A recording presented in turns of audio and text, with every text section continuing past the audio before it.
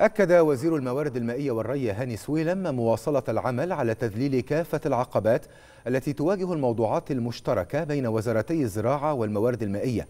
وخلال ترأسه لاجتماع اللجنة التنسيقية العليا بين الوزارتين لبحث الموضوعات والمشروعات المشتركة أكد وزير الزراعة السيد القصير ضرورة الاستمرار في انعقاد اللجنة بشكل دوري لمواصلة التنسيق بشكل دائم والاستمرار في متابعة التحول للري الحديث بالأراضي الرملية بالإضافة إلى تطبيق غرامات تبديل المياه تجاه المخالفين.